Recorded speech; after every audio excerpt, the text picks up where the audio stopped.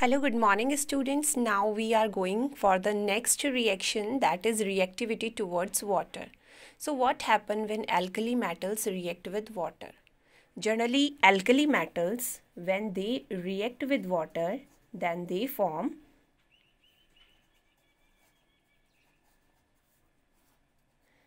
then they react with water to form hydroxide that is metal hydroxide as well as I'm just simply writing it metal hydroxide as well as hydrogen gas. So generally all the alkali metal they react with water to form metal hydroxide as well as hydrogen gas. Now the main thing is that generally the alkali metals are very reactive. That's why they react with water but actually the reaction with water is quite different. Like the sodium can react with cold water uh, because the sodium is very reactive so actually the reaction is very vigorous okay so that's why because actually the reason is students if uh, the sodium will react with water like sodium it generally reacts with the cold water and the water is very very colder. So what happen if it is normal water then it forms sodium hydroxide and also hydrogen gas. Uh, students this hydrogen gas this is hydrogen gas actually. So this hydrogen gas so formed it is uh, uh, the reaction is very very exothermic that the hydrogen gas catches fire. And if we will increase the water then continuously the wire will uh, means uh, increase only not decrease.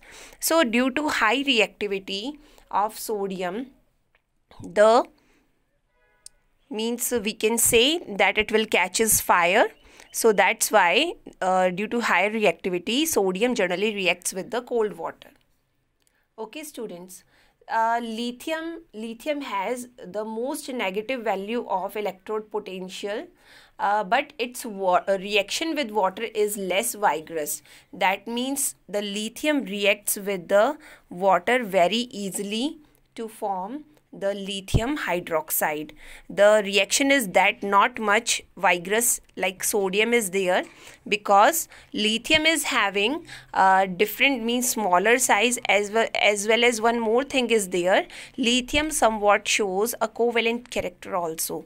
So it forms lithium hydroxide plus hydrogen gas.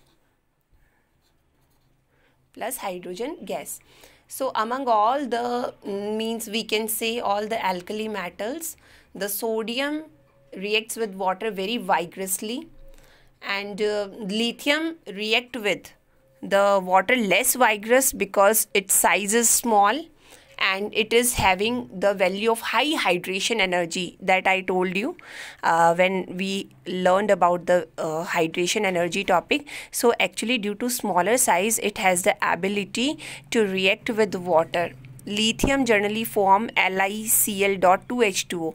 So actually its affinity towards the hydrogen is very very uh, more. So it is having more hydration energy and small size. So that's why. While other alkali metals they react explosively with, with water. Okay. Now the alkali metal they also react with the alkali metals like alkali metals. These alkali metals also react with the alcohol uh, which are proton donor alcohol like uh, CH3OH. I'm just taking an example of methanol. It may react with the gaseous form of ammonia when ammonia is in gaseous state as well as it also react with the amines. So amines uh, triple bond sorry CH triple bond CH. So alkali metals also react with these all to form different different type of molecules. Okay students. So these reactions are not important. In this you have to simply learn that alkali metal react with water to form metal hydroxide and hydrogen gas and the reaction with sodium or all the other alkali metals except lithium is very vigorous or very explosive because they are very reactive and the reaction with lithium the reaction of lithium with, with water is less vigorous, less, less explosive due to its small size as well as high hydration energy. Now students, the next reaction that we are going to discuss it is the reaction of alkali metal with dihydrogen. So reaction with dihydrogen that is H2. Now reaction with hydrogen. Generally alkali metal reacts with alkali metals.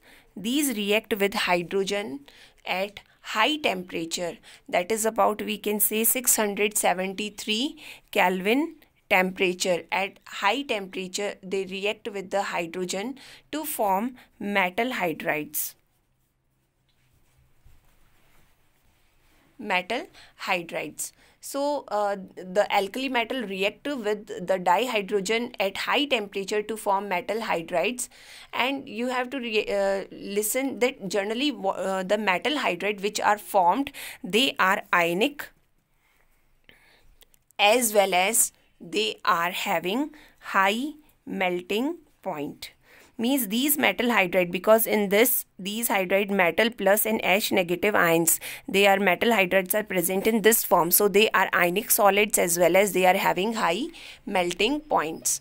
So like uh, you can see that uh, if sodium is there sodium react with the hydrogen to form NaH and it is an ionic solid. This is sodium hydride Students, generally you have to remember that lithium is an exception case. I told you in the previous lecture that among all the alkali metals or in all the groups like we are having 18 groups the first element of each group are uh, generally the uh, elements in the second period. In each group they all are the exceptions. Okay? These all are the exceptions. So Lithium is also an exception. Lithium also react with hydrogen. But the reaction of lithium with hydrogen occurs at a very very higher temperature like about 173 Kelvin temperature to form lithium hydride. Okay students, so this is second, uh, fourth one reaction that is reaction with dihydrogen. Now students, the next is reaction with halogens. So what happened? Alkali metal generally we are having sodium potassium rubidium cesium. So alkali metal they react with the halogen atoms like i am writing x2 x can be fluorine chlorine bromine iodine. So these can react with the alkali metals uh, sorry these can the alkali metal react with the halogens to form metal halide and students these metal halides so formed these are ionic in nature. These are ionic solids. Okay? Like let's take the example. Lithium react with chlorine to form NaCl these are ionic because here Na and Cl are present in their ionic form. So alkali metal like potassium react with chlorine or bromine to form KBr or KCl. So these are ionic solids. But the exception over here is about the lithium. Lithium is having a very small size. So that's why it react with the halogen atoms to form the lithium halide. But this lithium halide is not of ionic nature. It has covalent nature. The lithium halide shows the covalent nature due to the very smaller size of lithium. And due to small size of lithium as we have learned about the Fajans rule. So uh, actually lithium is having a very small size. So due to small size because it is having a small size suppose this is lithium and halogens are comparatively uh, means larger size. So like uh, fluorine is having comparatively smaller than chlorine is having larger then bromine is having more larger iodine is having more larger. So what happened uh, in the outermost shell we know that in halogen more number of electrons are there and some electron electron repulsion is also there so due to very very smaller size the lithium actually distorts or attracts the electron means outermost electron towards itself due to which the shape of the uh, atom or ion it changes it get distorted towards the uh, lithium atom. And this di distortion it causes the overlapping like this one is here and this like this one will be the overlapped part. So in this way the lithium generally fo forms the covalent uh, compounds with the covalent nature that is lithium halides with covalent nature only. Students one more thing is there that is that since iodine is having maximum size and due to maximum size maximum distortion of the electrons will be there that's why the lithium iodide is having maximum covalent nature then lithium bromide then lithium chloride and then lithium fluoride. So this is the order of the covalent nature and lithium iodide shows maximum covalent nature due to the large, very large size of the anion and very, very smaller size of the lithium cation. Now the next is solution in liquid ammonia or reaction of alkali metals with liquid ammonia.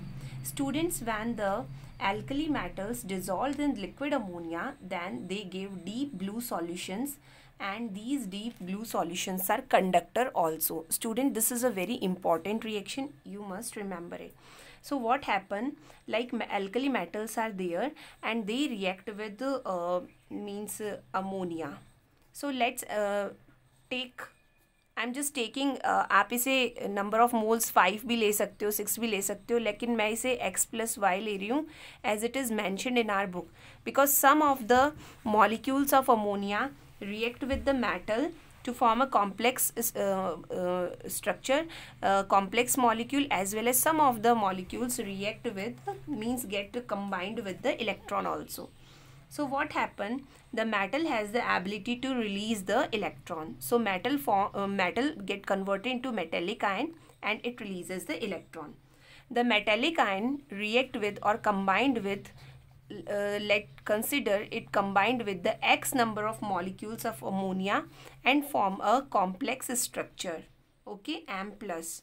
And as well as the free electron it also get combined or uh, come nearby the ammonia and uh, like NH3 suppose it come uh, nearby Y molecules of ammonia to form a complex structure with uh, this one. Okay? So actually this is the ammoniated electron and this is the ammoniated metal ion.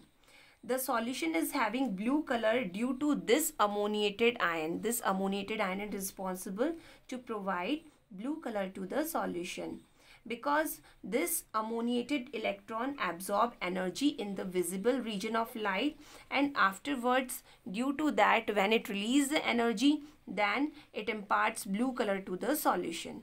And due to the presence of free electron the solution is paramagnetic in nature.